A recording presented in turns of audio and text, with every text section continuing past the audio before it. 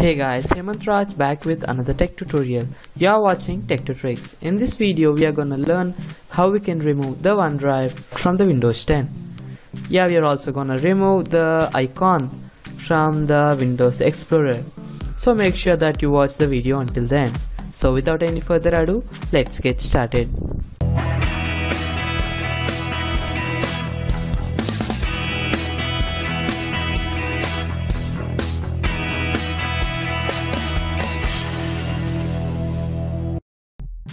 The first thing we are gonna do is to uninstall the OneDrive. So open up your command prompt by typing it in your search bar. So run it as an administrator. So give it the administrator permissions right here after opening it. You need to type the following commands. Uh, so don't worry guys I'll be giving the commands in the description box. So make sure you check out them and you can see that the process is terminated and the OneDrive has been closed. So the next thing is to copy the second command. If you're using a 32-bit system then you to copy the 32-bit command. If you're using a 64-bit then copy the 64-bit. How can we find if a system is 32 or 64-bit? So simply open your my PC or my computer then right click and go to properties. Right here you can see that the system type is 64-bit. If you're using a 32-bit then copy the first command. If you're using a 64-bit then copy the second command. So right click and click on the copy and simply right click on it and click on enter. So you can see that the process is successful and now on you can't find any OneDrive even though you can find the folder but it won't open. So now let's terminate the OneDrive icon from the Windows Explorer.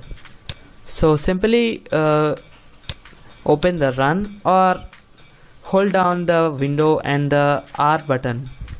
So the run command will be open and right there type in reg edit that's a registry editor so click on ok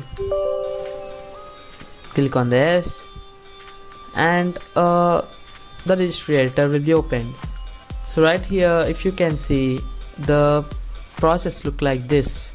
So the thing look like this and we need to do is we need to hover and search and open up this destination. So the first thing is hk so the first thing is hk classes root so the first one is this one and the second one we need to go to CLSID so where is the CLSID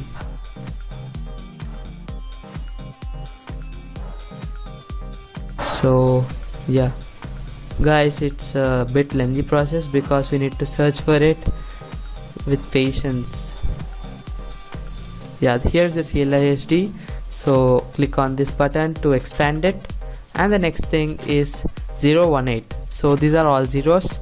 Let's find for 018 018 so we are in uh, alphabet. So D C B A the next 9 8 7 6 5 4 3 2 1 yeah here we are 1 and right here we need to find 018d so 018d where is it? Yeah here is the 018d and right here you can see that the 018d has these files in it. So the third file this is the system.is pinned. No to no name space tree system is pinned to no name something else. So simply double click on it. So the default value will be set to 1 simply backspace and set it to 0 and click on the ok. So yeah just close this up and once you set it you can see that the OneDrive will be out from here if you can still find the OneDrive button then you need to restart your PC after restarting you will no more find the OneDrive. So that's it for this video guys. If you like this video then give a thumbs up and share it with your friends. If you are new to our channel subscribe to channel. This is Hemant signing off for now and hope to see you in my next one